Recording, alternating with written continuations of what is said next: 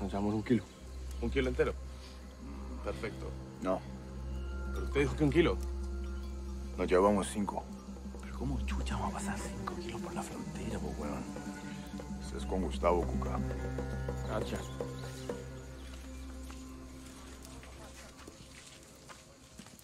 Es muy buena máquina. Yo ya le estuve echando cabeza y el mejor lugar para guardar la mercancía es acá abajo del guardabarros. Son 22.5 caballos de fuerza, más que... Es fácil de quitar. No te preocupes por esa maricada. Yo meto 5 kilos ahí fácil. Listo, listo, mira lo que hago. Tres carros, me hace el favor. Sí, claro. ¿Para cuándo? Para allá, hermano. Listo. Entré a los carros y volvemos al laboratorio. Pero ¿para qué chucha nos vamos a devolver al laboratorio, weón? Pues porque son cuatro guardabarros por cada carro. 5 kilos por cada guardabarro, 20 kilos por carro. Por tres carros, 60 kilos.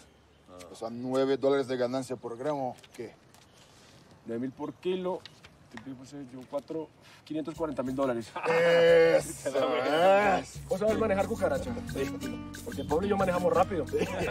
That's half a million dollars per trip, using the same smuggling routes he always used. Easiest money he ever made.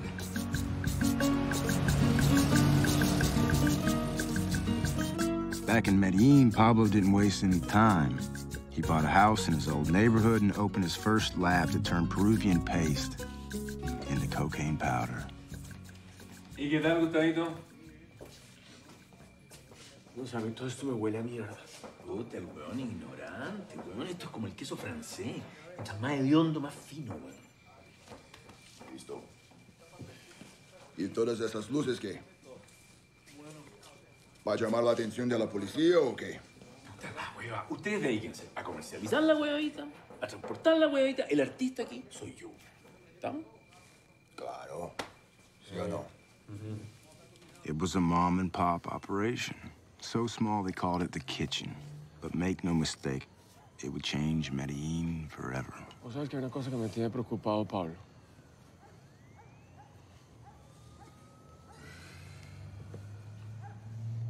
¿No será que los trabajadores se van a ahogar con todo ese humo?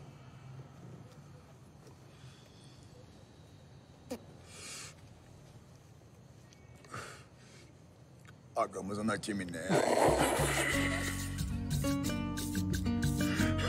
y ya. Muchachos, los primeros tres. Oye, pero si este negocio deja tanta plata, ¿por qué me mandas en clase turista o qué? Porque estamos empezando, hay que cuidar la platica. Ay, no seas chichipato. No, no, no, amigo, vengas con bobadas. Vení. Pero a ver, ¿cuánto puede costar un pasaje de primera clase? No, pues no sé, cómpratelo vos.